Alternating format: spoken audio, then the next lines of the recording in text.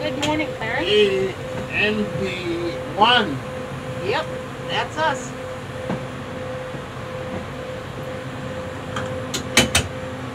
Good morning, Andy Bad. Good morning,